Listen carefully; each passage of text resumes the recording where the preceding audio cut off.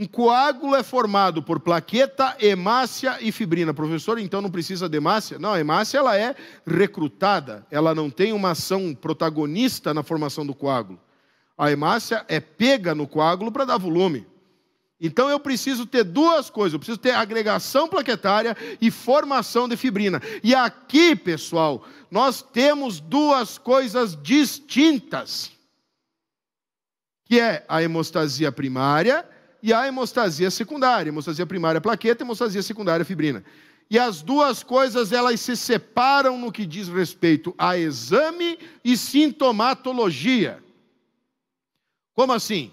Eu tenho exame que identifica a agregação plaquetária.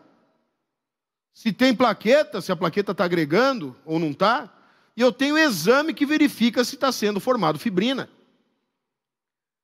Agora, a pergunta que eu faço para você: o que significa o exame tempo de coagulação?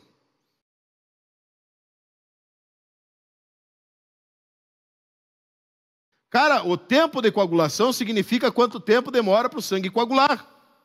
É tipo assim, ó. É, o cara tá, tá com dor de cabeça. Aí ele vai no médico. Aí consulta, no final da consulta o médico fala, viu? Você tá doente. Tá, mano? Não, não, você está doente. É isso que o tempo de coagulação fala.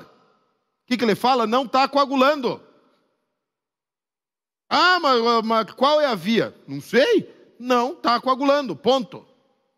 Então, qual é o fundamento de eu usar um exame ultrapassado desse? Se eu posso identificar as vias da coagulação de modo separado.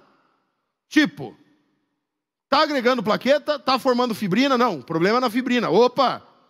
Então nós temos que ver o que está acontecendo com a fibrina. E a plaqueta, teoricamente, está normal.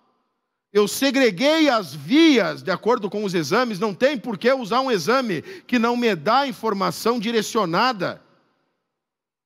Agora tu sabe o que dizer quando falo, quando alguém pedir para você por que, que o tempo de coagulação não deve ser feito mais. Se tu quer ter um coagulograma adequado, o tempo de coagulação tem que estar fora.